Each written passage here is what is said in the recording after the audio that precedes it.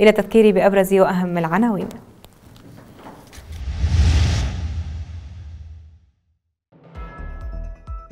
محافظ صلاح الدين يعرض على صندوق إعادة الأعمار أولوية المشاريع التي تحتاج لها المناطق المحررة.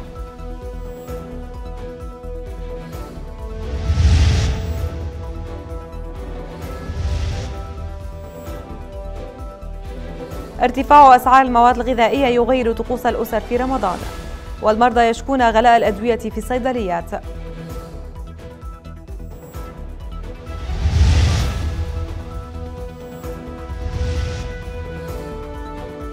استبعاد عقد جلسة للنواب قبل إنضاج مبادرة البيت السياسي الشيعي والحلبوس يحسم معركة صلاحيات هيئة الرئاسة.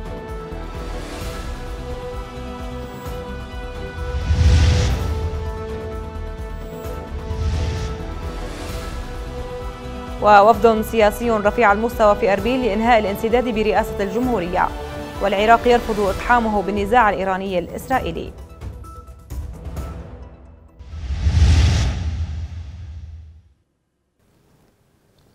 شكرا لحسن المتابعة في أمان الله.